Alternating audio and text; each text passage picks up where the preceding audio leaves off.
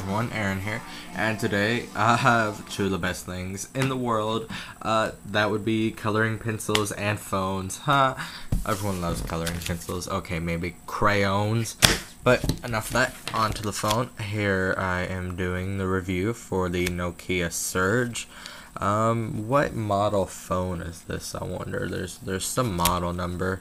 Um, I don't know. I would put a link in it, but or like a like a little thingy McThing thing, but I'm just too lazy for that. But anyway, here is the Nokia Surge, and uh, this phone I've had. Uh, I've liked it since I had it. Keyboard on it, you have a nice four row keyboard. Uh, the keyboard, it's definitely not my favorite out of mm, phones. It just seems like it's a little almost too spaced, and uh, that they're offset to the left a little bit, but I mean, I quickly got used to it. It was no big problem at all. Uh, so, uh, Symbian S-Class operating system on here.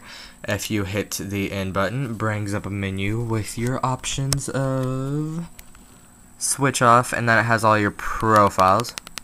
You can customize each one, lock phone, remove memory card, or go offline.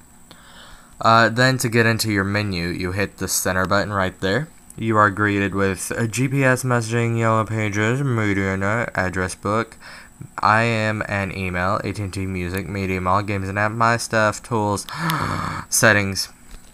So, uh, neat thing about this phone, which, uh, it's a love-hate relationship.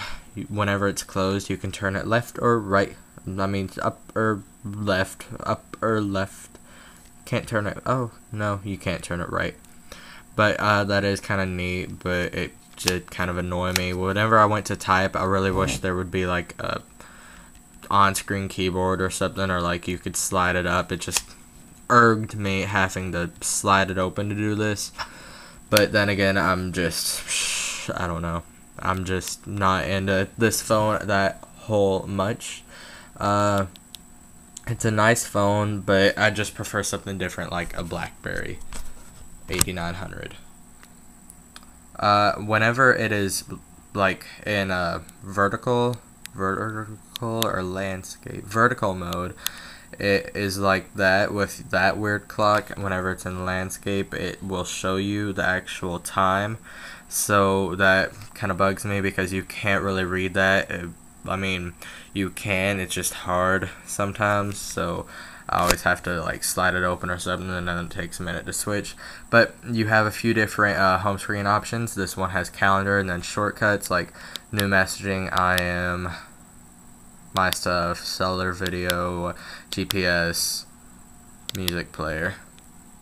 Uh, and then it has your calendar options right there.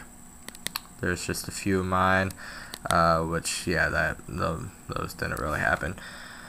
But going into the menu again, in your messaging, it is. Hang on, let me. Uh, well, once you hit messaging, you are greeted with messages or voicemail. Going into messages, you have new in new message inbox, uh, your email account, new mailbox, folders, drafts, uh, outbox, reports. I don't even know what reports are. Uh, hang on just a second. And something that bugs the crap out of me, this phone doesn't have conversation style, which I was promised by the guy at AT&T. Oh, it's a smartphone. It would. It doesn't. So, create a new message. Uh, go ahead and send it to, like, psh, 55501955. We'll see how that works. Okay.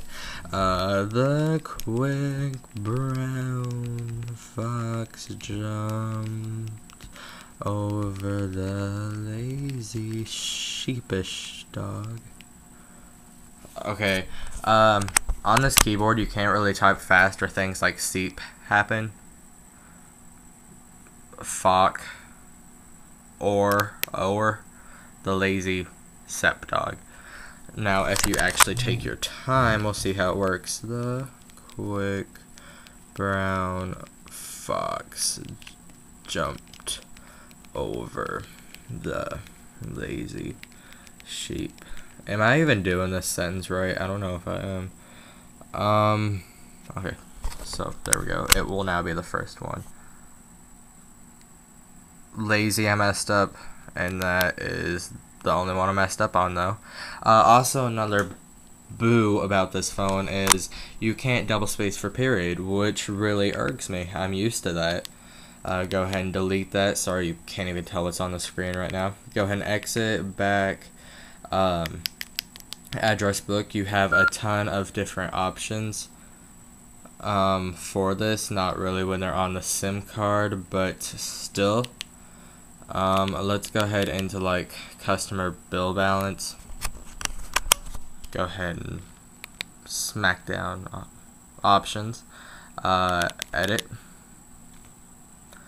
Uh, telephone, email, mobile, company, job titles, and synchronization.